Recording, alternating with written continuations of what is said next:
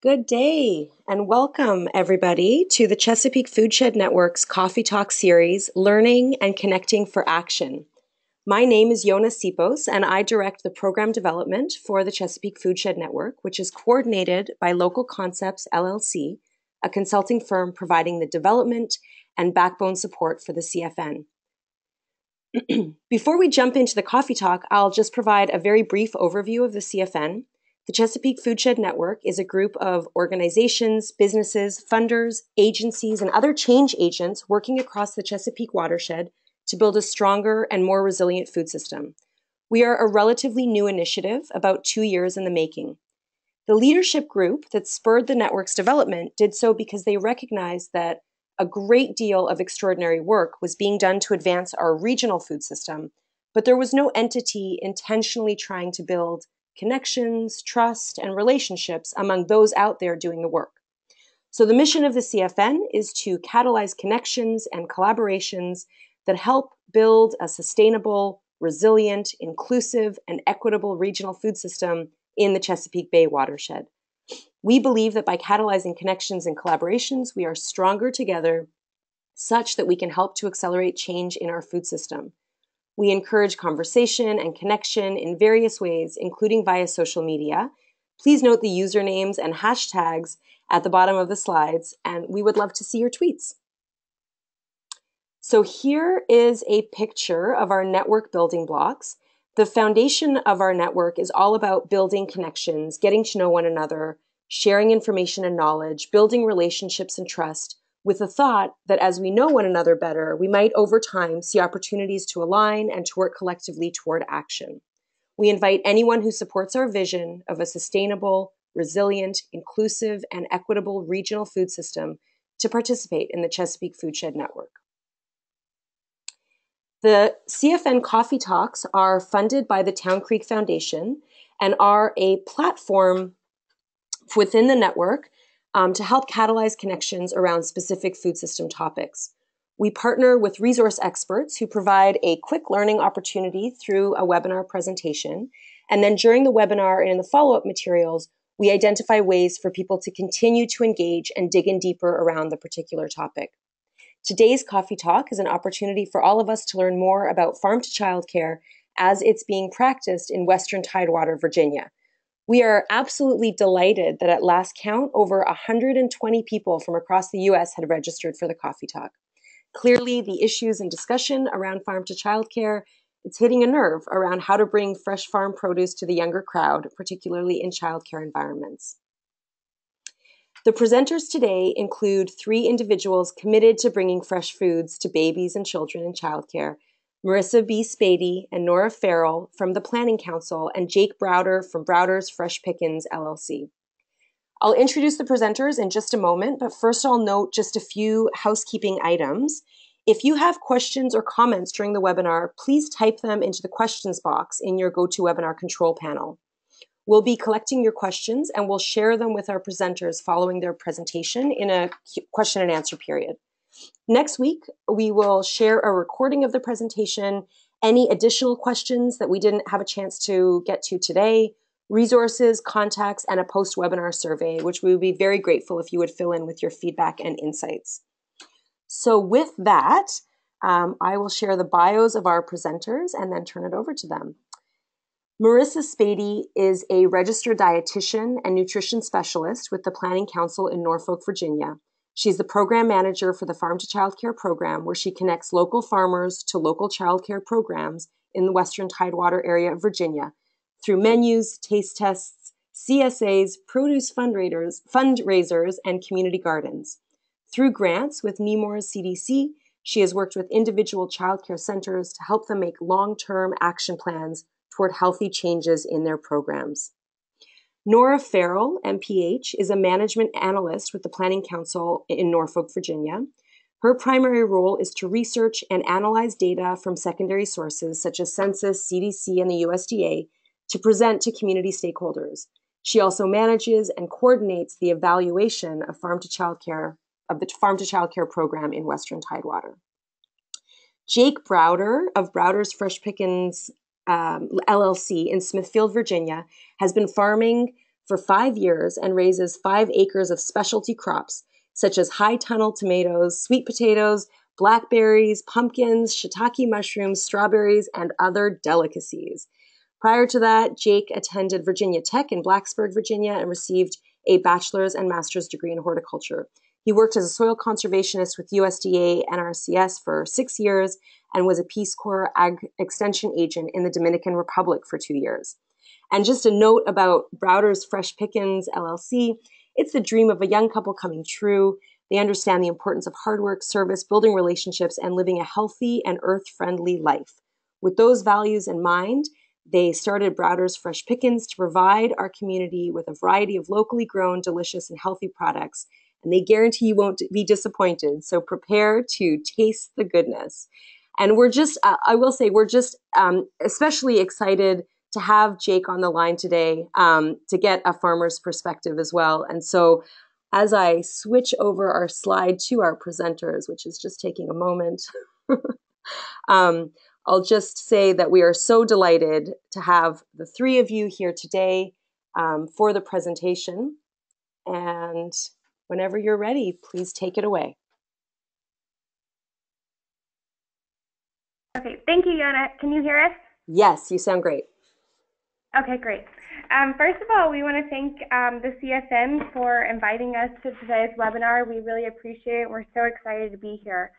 Um, this is Nora Farrell, and I have Marissa and Jake here with me, who you'll hear from a little bit later on. Um, as you know, we'll be talking about the Farm to Child Care program here that we've implemented from the planning phase, um, and now we just started year two of the implementation. Um, so you'll hear the history of how we came to this program through emerging opportunities of other services we provide at the um, Planning Council. We'll then go into what is farm to child care, and you'll, you'll hear our specific um, goals and objectives and some of the pilot activities that we're actually implementing. At the end, you'll get some tools and resources, and we're happy to answer any questions um, that you may have. So first of all, we just want to get an idea um, of how everyone here at the webinar is related to farm to child care. Um, so are you a part of it? Um, so I think we're going to put a poll up.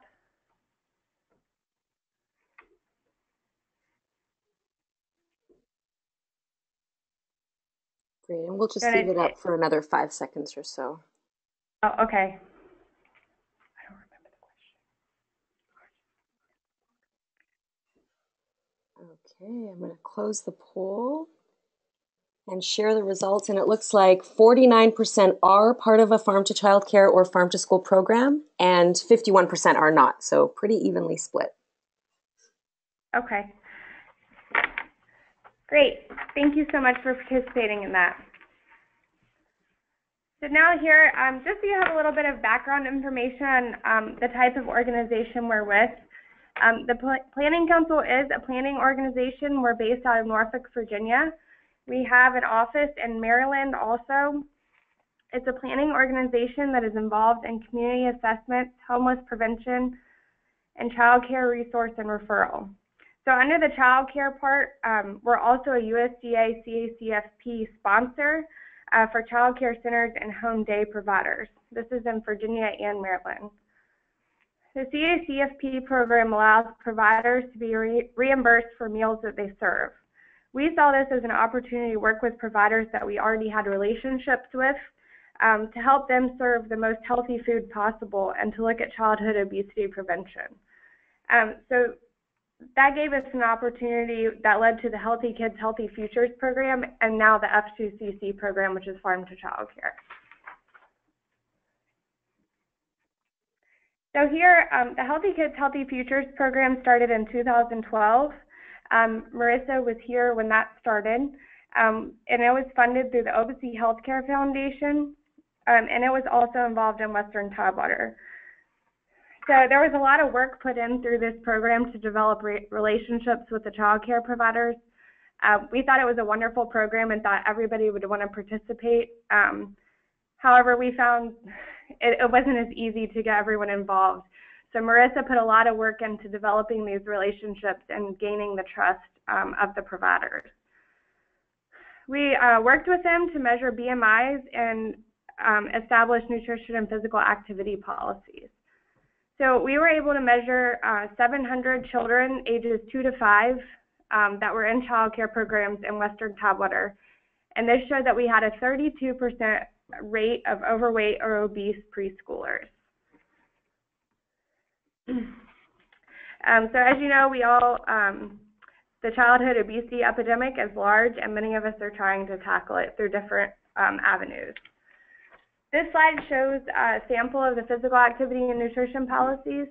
Um, through the Healthy Kids, Healthy Futures program, uh, we were able to involve 26 centers um, that had 1,700 children, 35 family homes who had 215 children. So um, they assessed where they were, um, if they could implement these policies, and um, so this would lead to impacts that would last for a long time.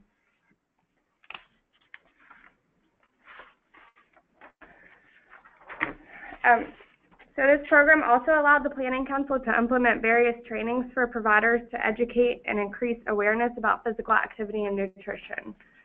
So you can see that some of these programs through um, the USDA, Share Our Strength, Color Me Healthy, I Am Moving, I Am Learning, were able to um, be provided to the providers. Um, these trainings were also um, given to the providers in a way for um, business development and to increase the quality of care. So now we're um, we're going to go into what is farm to child care. Um, now that you've had a little bit of background of how we came to this program and the idea of it. So it connects local food producers and processors with the providers um, or the school kitchen or cafeteria. Uh, we've now narrowed our narrowed down our program to three core areas, which is gardening, education, and procurement. You'll hear a little bit more about this from Marissa, but um, many ideas were tried in the pilot phase. Um, and so we decided to narrow it down for the providers because they may not want to participate in all three of those activities. It's targeted toward children with ages 0 to 5, um, child care centers, preschools, Head Start, daycare centers, and in-home care. Um, so these are the goals that we came about um, for our specific program. And the overall goal is to increase local economic activity, decrease childhood obesity and hunger, and sustain our food system. So how can we create this in a way that once we step out of it, that we've created a system between the farmers and the child care providers? Um, the other things were to increase the consumption of fruits and vegetables in children, and if we can make it local, even better. Um, we also found that we wanted to increase access to healthy, affordable foods and develop and enhance a community network that will connect farmers to consumers. So we kind of did this backwards. Um, but so those goals, our whole vision from those goals and objectives was to create a community-wide sustainable program. So how do we create that system? Um, how do we make the the movement of community responsibility? So how do we make the community take that ownership of this program and want to buy from the local farmers? Um, to create policies for lasting change, um, and how do we help some of these farmers and the providers take down the barriers of getting the local produce? Sometimes it was just knowledge, and sometimes it was um, transportation issues. So overall, we just want to have healthy citizens and a healthy community.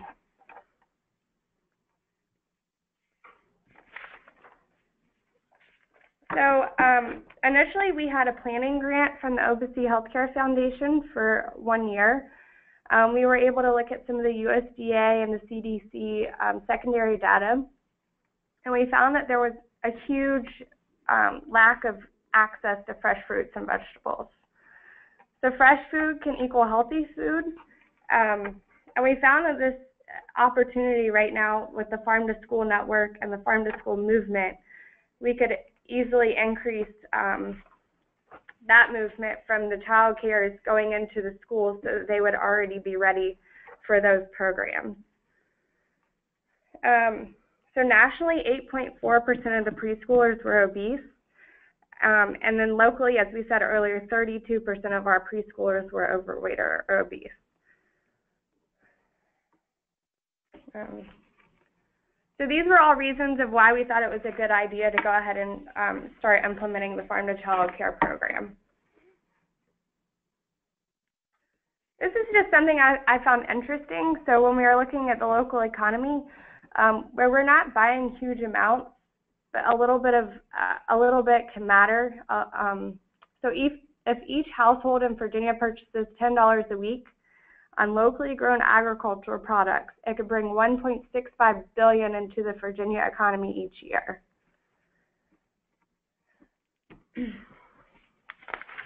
So along with some of our research and looking at the data, um, we also wanted to hear from the people we're actually working with. So we sent out surveys to our farmers and our child care providers. Um, we were able to get 35 providers to return the survey. Um, and we wanted to know where do they shop. So we found that 50% of, of them were shopping at the club stores such as Sam's or Costco. Um, and none of them bought directly from a farmer, um, but they were interested. So that showed us they just didn't know how to or where to go for that.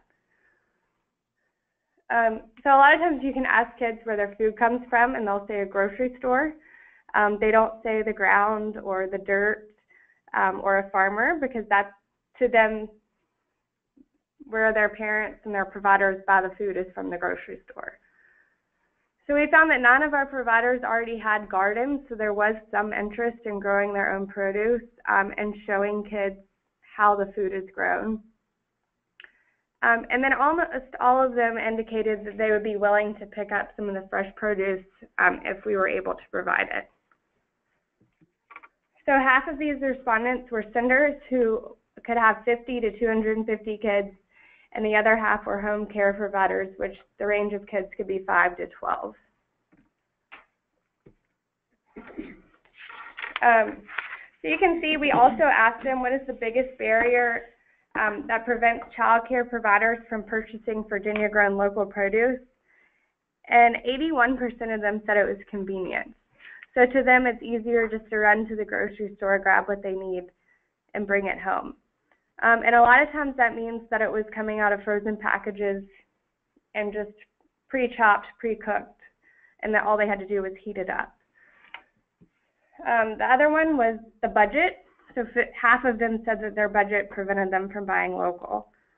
Um, which for us, some of that was going in and actually um, seeing what the prices were from the local farmers and educating them that it could be cheaper. And the, la- um, the third one was transportation or the distance to travel. So it was easier not to make two trips and just go to the grocery store and get all of their food at once. This slide shows some of the respondents from the farmer or the grower surveys. So we had six farmers um, in western Tidewater and for our project, we wanted to stay within the same counties as our child care providers. So we had a total of six farmers that we were introduced to um, to start off with, and they were all interested in um, selling to a new market, the child care provider um, centers. Um, they were willing to host tours for staff and administration and policymakers, and they were open to the idea. Most of them were willing to deliver their products, um, However, we found that transportation can be an issue, which we'll talk about a little bit later. Um,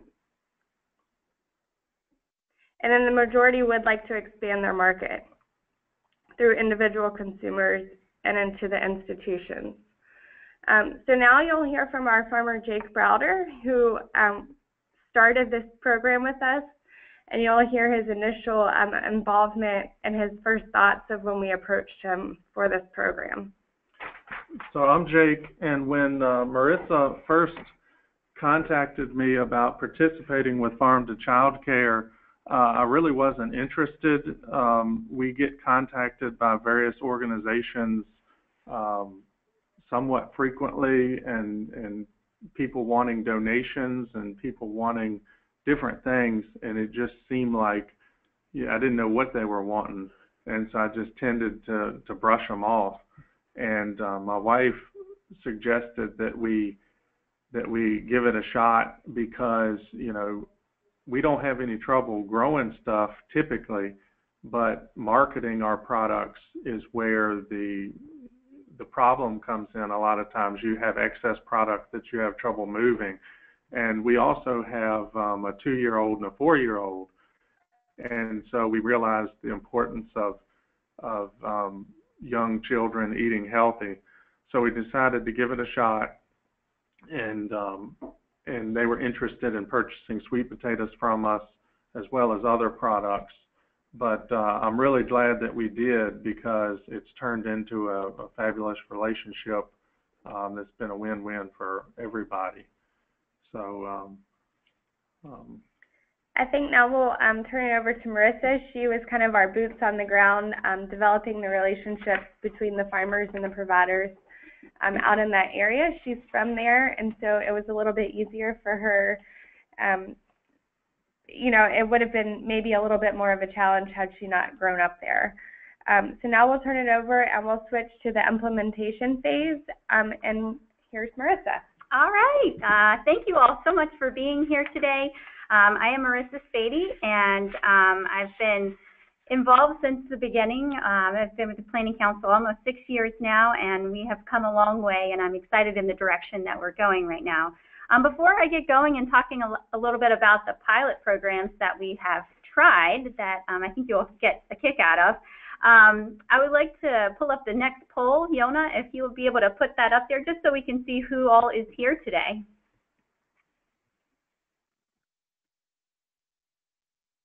Mm-hmm. People are voting, so we'll just leave it up for another five or six seconds as everybody has a chance to put down their role in farm to child care, farm to school.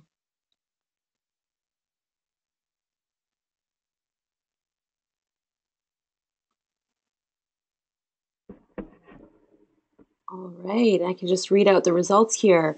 Um, 2% of our participants today are farmers or producers, 6% are childcare providers or schools, 42% are nonprofit organizations, 6% are community stakeholders, and 44% are other, have other roles. Wonderful, wonderful. That gives us an idea um, of who all is in the audience today. So we'll go ahead and get started. Um, if you would, our slogan for the first year of our implementation was one sweet potato at a time. Um, that is Jake delivering 40 pound boxes of sweet potatoes in my backyard.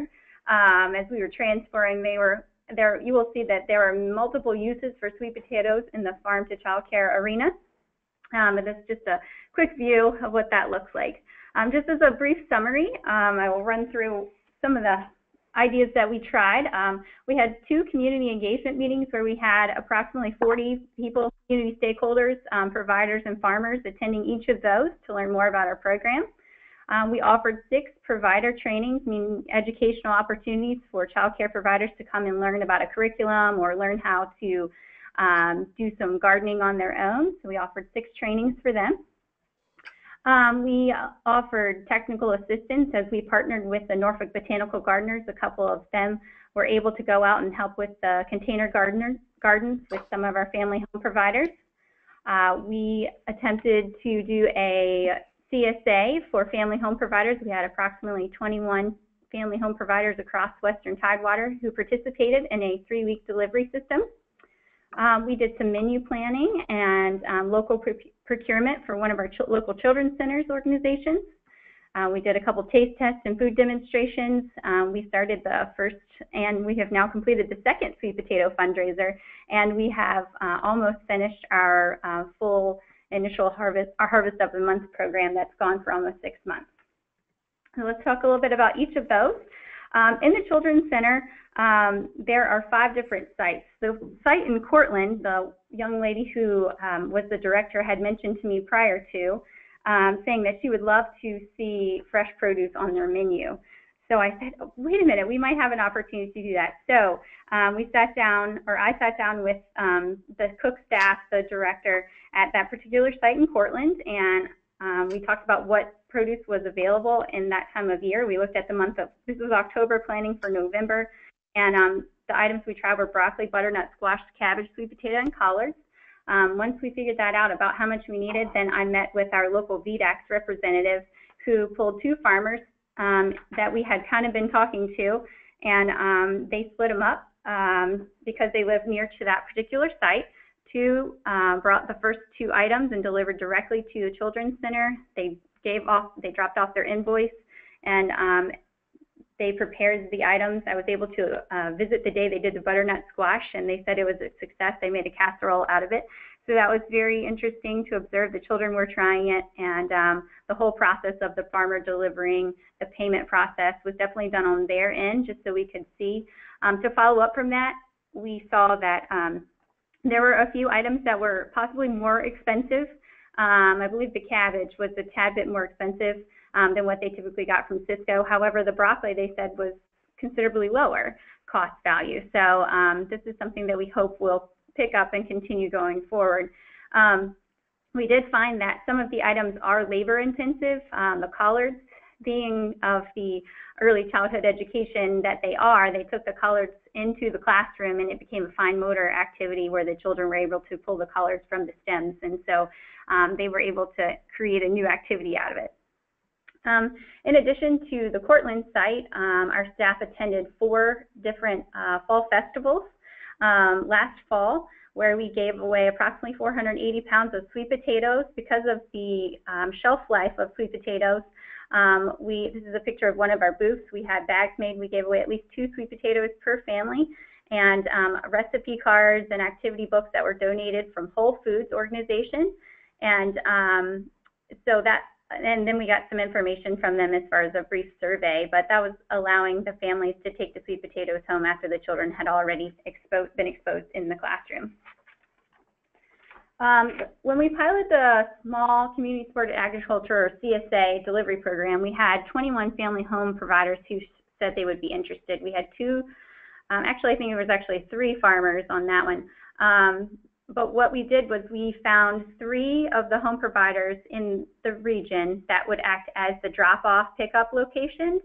And um, so they had three weeks in a row where um, they would receive the, the bags or the box or whatever it might have been. Um, and then the other providers were called or text or email to go pick them up early that week so that they could use them in the in during that week for the children to try. You'll see a picture of that little guy. Um, he's eating some sweet potatoes that were fixed during that week, but they got a variety of whatever was available that the farmers had um, between myself and um, the VDACS, um, Virginia Department of Agriculture um, staff. She was dropping off to the three sites and then they were able to pull them together. We got wonderful feedback. Everyone loved it. We sent out a survey. They said they'd be willing to duplicate it. Um, they'd be willing to pay a certain percentage because with grant funds, we want to show the sustainability. How are they going to be able to, um, you know, keep this going after we're done? So when we went to try this again in the summer, um, with them paying a portion um, and have them sign up on our online, sign up on our web page. Unfortunately, we had a very low number of people to do that, so we weren't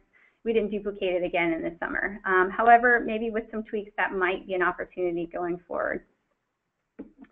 Um, the next one is the sweet potato fundraiser and um, pre-sale item. So I approached St. Andrew Preschool, who um, they have been pretty involved in our Healthy Kids for Healthy Futures program um, for the past several years. We have a good relationship with them, um, and overall, they they're pretty open to trying new things. Um, so when my daughter, who had just started kindergarten last year, came home with Yankee Candle and candy and wrapping paper fundraising, I just thought, I don't want to buy this overpriced stuff. And I said, well, Jake's got all these sweet potatoes. Why couldn't we sell these sweet potatoes as a win-win for everyone? He could sell the sweet potatoes. The school would make a, make some additional funds for whatever they might need, and then um, we know that families would be going home with a healthy food item, and we also send home recipes. And so from this point, I'm going to send this over to Jake and let him talk a little bit about um, the fundraising idea with the sweet potatoes.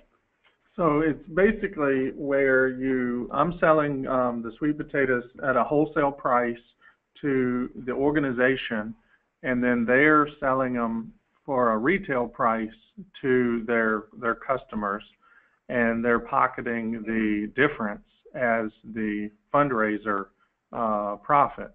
And so, you know, I'm happy to get the wholesale price um, the customers would be paying retail anyway if they bought stuff at the grocery store. They just happened to be buying it in bulk, and it's fresh and it's local, and and the organization makes the profit. So it's really a win-win for everybody. Um, it's best if it's done on a pre-order system, uh, especially if the crop has been uh, already harvested in this scenario. For example, sweet potatoes, where they're they're gotten up out of the field, and I know how many I have ahead of time. For example, you know, hundreds of bushels uh, are sitting in the barn, and and you've got them, and then you can just deliver them. Uh, we had a little bit of an issue with strawberries, um, trying to do um, a similar thing with strawberries, and there was a pre-order of strawberries this May, and I don't know if y'all remember this May, but there was a whole lot of rain. Uh, seemed like every weekend in May there was rain, rain, rain. But um, the crop didn't do what I was expecting it to do, and I had a bunch of pre-orders, and um, so I was trying to um, give that order to a buddy of mine, another farmer, and there was just some logistical issues with that. So you know, there can be issues with um, logistics in this process, and the communication is very important and that sort of thing. So the point there is just make sure you know you dot your i's and cross your t's with this. But um, um, in general, everybody has been happy with the overall result, and um, you know, there hasn't been any complaints. So. No, not at all. In fact, um, St. Andrew has actually just finished um, their second year of the fundraiser with the sweet potatoes, and they almost doubled the amount. So I think last year That's they were right. at about 33 boxes of sweet potatoes sold. So the school profited about $330 this year. I think after they've called back and gotten a few extra boxes, we're up to like 58 boxes of sweet potatoes sold. That's $580 for a preschool. The school has about 75 children. And I asked the, direct, the director, you know, just for um, our own knowledge, you know, how much money do you make off of other fundraisers? Um, and for a preschool of about 75, she says, you know, they might make um, $300 off of a book sale or an activity, um, but they made $580 off of selling sweet potatoes, which we I have created the power um, the order form and the flyers, get it approved by them. They print it off, hand it out. They collect the forms, let Jake or I know how many to bring, and he drops them off, and it's super easy. The sweet, um, and yeah, and everyone has been pleased. The sweet potatoes are delicious. Um, I think the thought process is that people are probably going to buy sweet potatoes anyways because they will um, be good for so long. I think um, you know people don't realize they'll be good for months if you just keep them in a cool, dark place. Um, the strawberries, on the other hand, um, when they approached me about wanting to do strawberry pre-sale, the initial was, "Are you hoping to do this as a fundraiser?" And the great comment that that director said was like, "No, we met Jake. We know he grows strawberries. We just want to support Jake." And the culture that has been created at St. Andrew Preschool is just fabulous And the fact that they just want to grow healthy children, a healthy community, and they want to support their local farmer. And ultimately, that is what we want to have happen for all of the programs. Um, so even if it's just one at a time, um, we'll eventually get there. Okay, um, so moving on from the fundraiser idea um, is some of the taste tests you will see here. Um, that's me with the apron on, talking about more sweet potatoes. So we approached Southampton Academy in Courtland, Virginia, about, um, you know, would you be interested in trying a taste test? So we dropped off two boxes of sweet potatoes. We gave them recipes to the cook staff, and they made sweet potato, baked sweet potato fries and sweet potato parfaits. Um, we went in during lunch one day after they had prepared it. We did a little spiel. We let them try the two options. We found that the older children, we went up to fifth grade at this particular school, and the older children like the fries and the younger children like the sweet potato parfait with yogurt. Um, each child went home that day with a bag of sweet potatoes, a recipe, and a note to their parents letting them know that these were local sweet potatoes that they got to try. Um, another activity that happened at another school, Liberty Baptist, was um, more along the line of a food demonstration, meaning that their cook staff had prepared all the food items Um, and then the students came in and actually did put the recipe together. So there was math, there was science, measuring, um, and they prepared the sweet potato parfait, and that was going to be served as snacks to the rest of the school later that day. Um, this is uh, a random email I got from one of our family home providers. You'll see her there with her, her children. And they have one small um, container garden that we've helped her uh, manage. And this is just a note that she sent us. And she's just thankful that they've had the opportunity to grow so many different things um, from this one pot. And we've had, like I said, I think we've been out twice last year just to help her get started and keep it going. But she's really embraced the whole idea of um, helping the kids understand where their food comes from and incorporates in her menu. Um, this is a picture of uh, Children's Center located in Suffolk, Virginia. Um, Suffolk has a program called Healthy Suffolk, and within that they have a garden um, program. And so we partnered with the Healthy Suffolk garden coordinator, Shelly Barlow, and um, after having met with the um, the director of health at Children's Center, they, and she just mentioned in conversation, I'd love to have a garden. And I said, hold that thought. And within a month later, we had um, two raised bed gardens being put in, and the children got to help plant that those seeds and some of those plants. And um, they've let us know that over the summer they've incorporated many of the herbs into their food.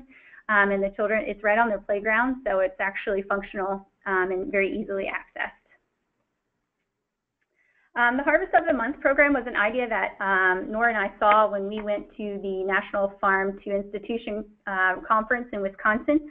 Um, and so there are several Harvest of the Month programs um, throughout the country that we've kind of adapted to our growing season. Our growing season is a little different than, well, obviously different than other areas across the country. So I took my list right here of June through November and I ran it by Jake and he said, well, you're pretty close, but he made me switch the sweet potatoes and the broccoli.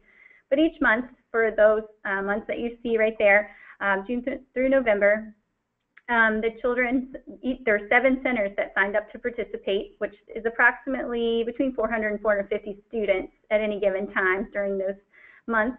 And um, they would receive one delivery of the amount of uh, produce for their particular school. They would receive an email about a week before with activities and um, for them to participate in, and then a uh, handout for the parents once the so the parents could read and understand what their kids were doing. Um, if there were extras, many of the schools have sent the extra produce home with parents, so parents understand um, what's been going on. And then there was an, also a um, survey at the end for us to get feedback from the child care program teachers as well as directors, and we've had really positive um, responses from this. So um, that's been really good. I'm going to turn this next one over to Nora because this was something that she really um, was excited to get started. Okay, so um, the Apple Crunchapalooza came from the Farm to Institution conference also that we attended in June. Um, and we were able to partner with the Virginia Department of Agriculture and Consumer Services for this effort. Um, they really made it, they were able to make it statewide versus just here regional for us. Um, and so they were looking at a way to celebrate Farm to School Month um, and how do we get it out there to everyone in the community. Um, so we were able to make a website and a registration page. The reason why we did the registration page um, wasn't necessarily so that people could pay or figure out, we just wanted to know how many people were doing it. Um, so it was a social media campaign where we encouraged everyone to buy um, Virginia grown apples and crunch into the apples at the same time um, take a picture and post it with hashtag, or if they didn't want to do it on Facebook or um, Instagram, they could email it in to us. Um, so this was just kind of a way for us to get it out there statewide versus community-wide. Um, and we had over 24,000 people register, and I think that was about 50 organizations altogether. Um, so it was a way of increasing awareness of buying local and eating healthier. Awesome. So we heard that some of you also participated in our Apple Crunch, so we're excited to have seen your pictures. Um, we've tried to alert the media whenever we had something fun and exciting going on. Um, and this is uh, one of the articles in the Smithfield Times um, of our first month of Harvest of the Month at Isle Wight Academy. Um, during the summer, they have a summer program with children of all different ages, and so they receive their um, cucumbers. We had recipes and they tried those. They colored their cucumbers. You'll see the pictures and there's the kids with myself and I standing there with our bag of, and they're holding up their cucumbers. So parents were really got a kick out of being able to have cucumbers come home with them. One of the feedback that we got from one of the other children's centers was that children had never seen cucumbers or had fresh local cucumbers before and then making the connection between a pickle and a cucumber was mind blowing for some folks, as is the connection between tomato and ketchup and spaghetti sauce. Um, that was something else that we heard that was um, an epiphany for some children.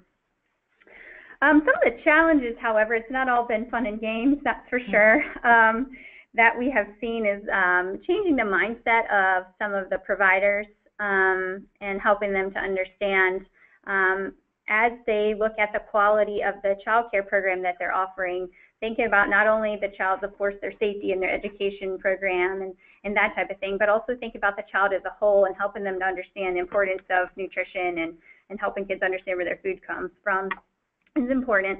Um, but I know they have a lot on their plates, and so this is just one more thing, I think. Um, delivery of produce from farmer to child care. Um, you know, in some cases, um, Jake was able to build that relationship because he went and met face to face with um, Miss Carroll at St. Andrew. So that's how he, you know, by seeing that person, we're able to develop that relationship. But not some of these. So, oh, so um, with the, from a farmer perspective, with delivery, you know, you're willing to make a delivery if it's in bulk but if the delivery is like a small delivery, or if you've got a whole bunch of, of child care facilities all spread out all over uh, several counties, you're you're less likely to do like one box here and one box there. But if it's a whole truckload, you know, you will do that. So that's that's sort of what's what she's talking about. Yeah, so that that's where um, Nora and I have been the deliverers of uh, a lot because, as you know, child care programs are serving anywhere from 40 to 120 kids. It's not like the school system where you have hundreds of children. So the the quantity is not as many, and then you've got them spread sporadically. Um, the Western Tidewater area of Virginia is um, fairly rural area, and so there can be great distances between. Um, I think it takes us about three hours to do pickup drop off for all seven locations. Um, and then as far as sustainability and scale, we are just trying to um, increase awareness uh, of the program, and um, I'm hearing that it's getting out thanks to webinars like this. Um, our website, we have a video, and we've hoping we've shared it on our social media and things of that nature, going and talking to community organizations. Um, but I think one idea with the fundraiser, um, a lot of times the programs, when I talk to them about sustainability, they're like, well, we have to be able to budget for it, and I've got to pay for all the stuff that I have to have. So the fundraiser was an idea to say, um, well, if you're willing to try this fundraiser idea, this is how much it's made at different schools. Um, if you could have, if we could put your garden in for you, and you have this as fundraiser, um, you should be able to, you know, pay for your harvest of the month deliveries as well as be able to pay for your garden upkeep and whatnot. And so, so those are some of the challenges in, in broaching the topic. Um, so what's next? What do we do after this point? Um, so it depends on who you are and, and what, how, what your capacity of being involved in is. Um, if you are a nonprofit, um, how do you get grants to help you get started? How do you build those relationships? And we found time and time again that relationships are truly um, the most important part of being able to get things going. Um, and then a lot of times we've actually talked on the state level in Virginia. Um, a lot of child care programs are actually doing some portions of these um, farm to child care activities. So sometimes it's an opportunity for us to um, make it go a little bit smaller scale or, or maybe make it broader. So I'm thinking I'm getting a sign from Yona that I need to wrap things up. Is that right, Yona? I think there's just a there's still a few more minutes, but we want to just leave some time for a Q&A at the end. Thanks. Okay. Well, um, so I will just flip over um, some of the other ideas for field trips, um, brochures about who your farmers are in the area, um, making those relationships with them, reaching out to your local um, uh, other organizations that or would support the same idea. Um, engagement opportunities in the um, in the community. Um, adopting a child care center. Um, there are many more organizations that are always looking for a way to um, donate their time, donate money. Um, maybe they just want to go in and read books about produce, um, or they want to support with the Harvest of Month. Maybe they want to do deliveries for you, or maybe they want to share the word of the Child and Adult Care Food Program, which can help um, with some funding. So those are some opportunities going forward of ways that we could potentially um, build funding for. These are some of the questions that we've also used in the past of, um, so how do we get the farmers to divide their sales? Like, what if we were able to partner with a local school that's doing farm to school? How could our child care providers be part of that um, buying in bulk? Uh, maybe they order through them and get a lower price. Um, how do we get enough to meet the needs for the schools? Um, would farmers ever consider growing mass one particular item? So if we went to Jake and said, Jake, we need so many um, pounds of sweet potatoes, we just have to have that commitment up front. And then how do we overcome seasonality? These are just some ideas just to think about wherever you're, you're located and how these items might come across. Um, if you're interested in starting a, a farm to child care program, um, the Grow It, Try It, Like It kit is one of our um, resources. You'll find it on the USDA um, team nutrition page that's available. Starting a garden, um, get in touch with your extension agent. Um, take a field trip to the local farmers. Invite your farmer to come to the classroom, but just know that farmers are busy people, and um, I haven't quite gotten a farmer into the classroom yet, but that is on the books for the next year. Trying a taste test, and if local produce is not grown abundantly, just getting more fresh produce in front of the children because the more like the more often that they are introduced to it at a young age, the more likely they are to continue it um, eating produce as they get older and hopefully can live a healthier lifestyle. So I believe that is about the end. These are some of the feedback from some of our participants, and I guess I'll turn that over to Jonas for any questions. Great, thank you so much. I'm just going to um, switch this back and I'll put up the um, resources that you were just talking about. I'm not sure why, if everybody saw them, it didn't quite show up on, on my screen. So let me just back us up for a minute here. So here was some feedback, um, just to make sure everybody had a chance to see it, feedback from participants. Um, and I'll just leave that up for, for just a moment and say that we have a lot of questions. So people ha- are very excited about this. A lot of congratulations coming in and um, excitement about all that you have accomplished so far.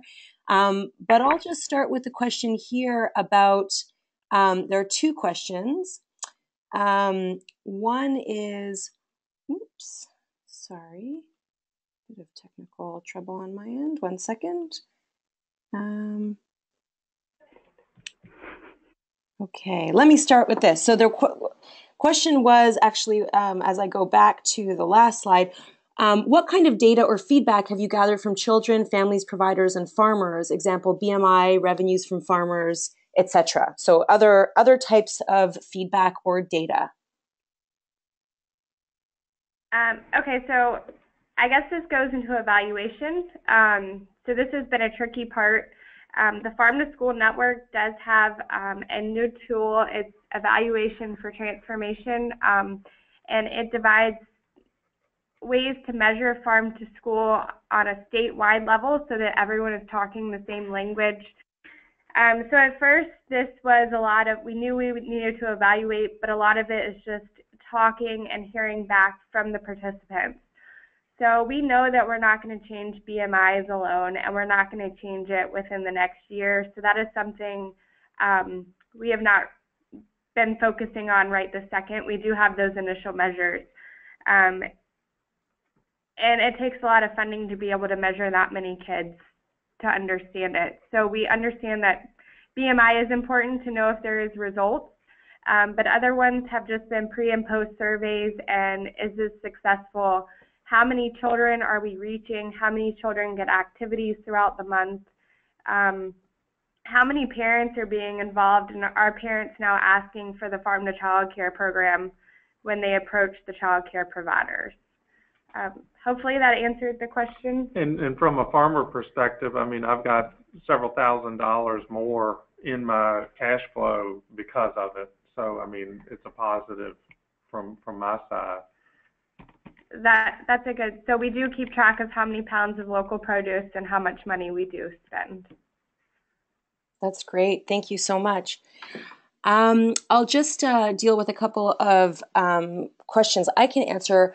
People want to know if the slides will be emailed out. Uh, and yes, the slides will be emailed out as well as a, a link for the recording. And we'll be sending that out um, early or middle of next week. So um, don't worry about writing all the resources down on the from the screen. Um, you will all get a copy of this.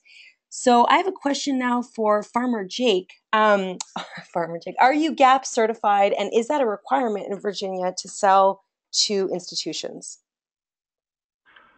I'm not GAP certified. Um, I was very close to becoming GAP certified, um, but it's not a requirement. Um, and so because it was not requirement, I did not follow through with doing it. Um, it was it was going to be um, I basically am following the practices in the GAP certification, but without paying for the the um, person to come out and certify me. Mm-hmm. And that's what we've found with a lot of the farmers is um, it's a very expensive certification, um, but a lot of them do follow the practices, but they aren't actually certified.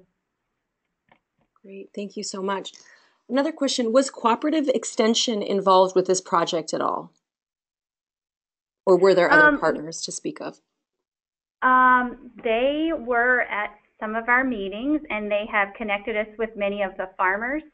Um, I am actually going to be meeting next week with the master gardeners and um, hopefully getting them a little more involved because we were piloting so many um, different ideas. It was kind of hard to um, plug them in directly. And in our area, um, we don't necessarily have um, like a I can't remember what the name of the agent is, uh, food nutrition agent in Isle Wight right now, I don't believe. And so um, Janet is just a ag an ag agent. So so she's been really grateful about helping um, us come into meetings to meet the farmers.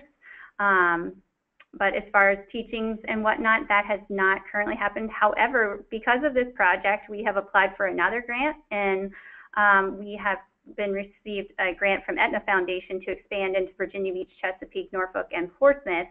Um, and with that being said, we just had a meeting with the Chesapeake Extension and some of the programs that they have going and being able to collaborate with them. Excellent. And That's a few of the other mm-hmm. partners we found helpful um, are linking in with the health department.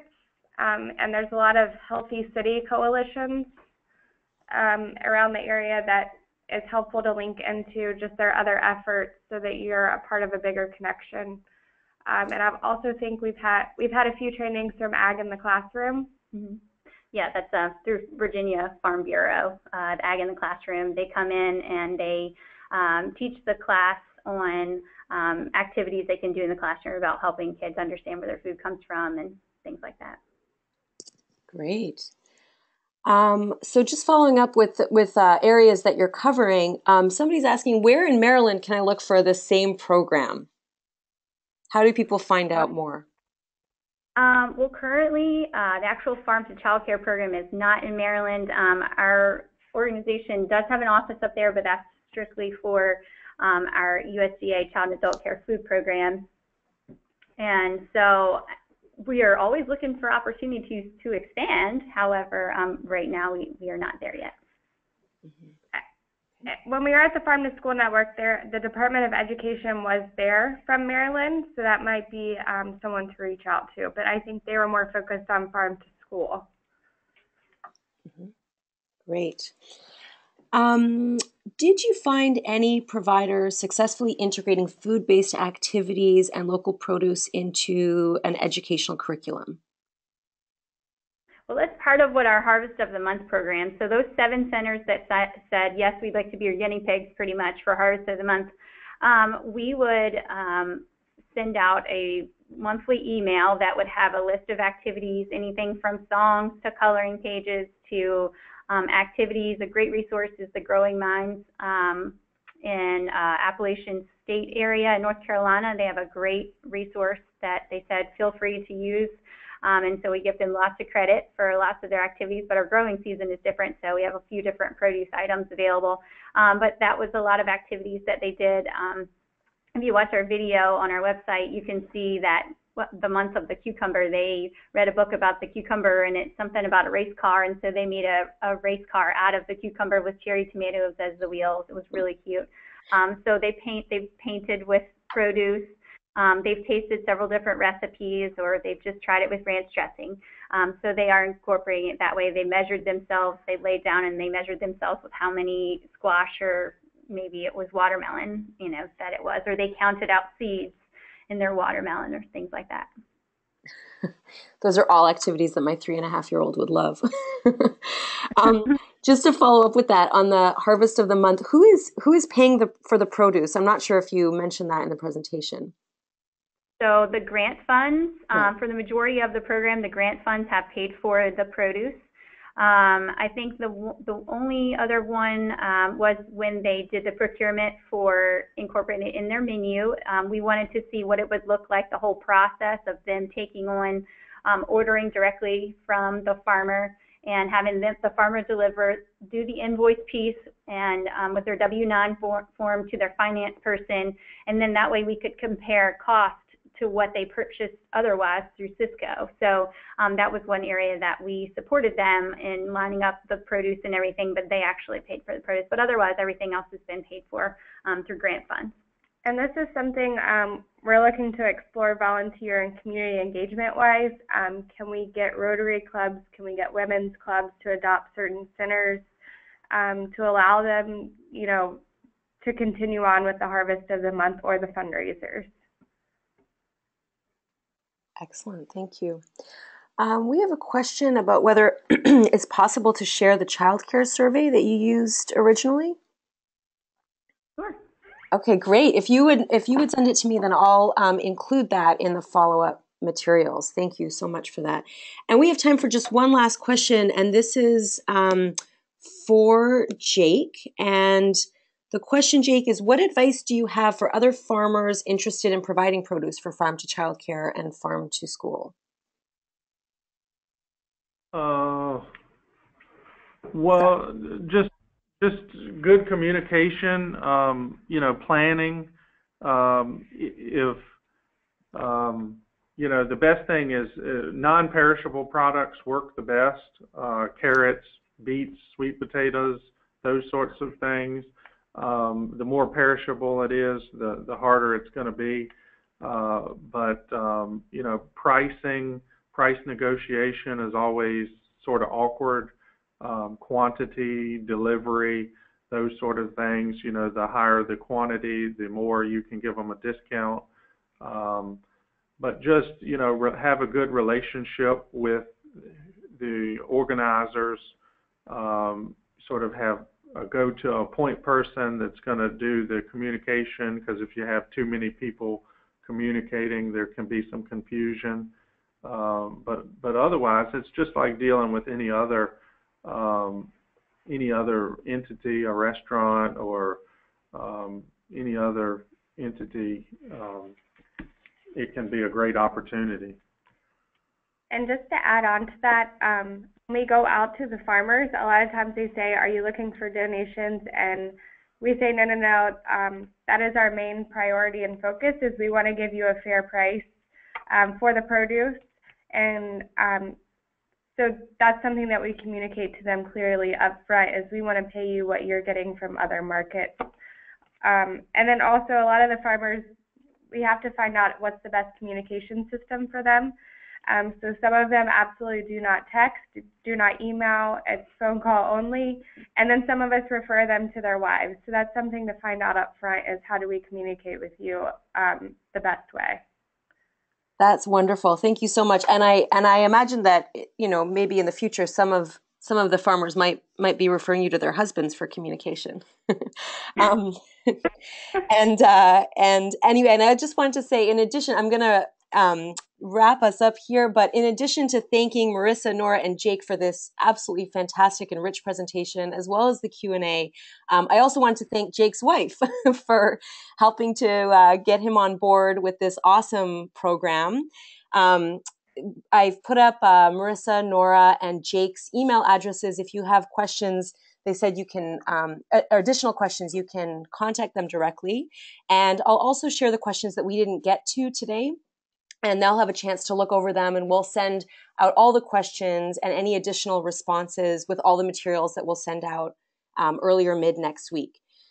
So um, just wanted to also put up this slide, but again, you'll be you'll be getting this. Um, the uh, Planning Council's video is up on their main page of Farm to Childcare. It's really an awesome video. I encourage you to check it out.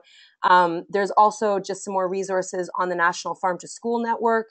And um, uh, just a note here that some funding may be available. There's an application um, that's due coming up December 8th for USDA Farm to School funding. Um, so I encourage you to check that out and to follow up with the CFN or with our resource experts from today if you have additional questions on this or on anything else related to farm to child care. And I also wanted to thank all of our registrants and attendees for your interest and for all the questions that you shared today. Thank you so much. Um, if you have any ideas for a uh, for a coffee talk or a webinar that you or someone that you would for you to host or someone else to host, then please do be in touch with Christy Gabbard, who's the director of local concepts um, and the Chesapeake Foodshed Network coordinator. Here's just a couple of upcoming events um, that are coming up in the next few months and even into the spring. We hope to see you um, in future events, and we we really welcome any questions, any feedback that you may have for us. Um, please also visit our website, chesapeakefoodshed.net, for more information and to register for upcoming events. We really hope that you can join us. Um, one more huge thank you to our resource experts for today and for all of you for your participation. Thank you so much and have a great day. We appreciate it. Thank you. Excellent.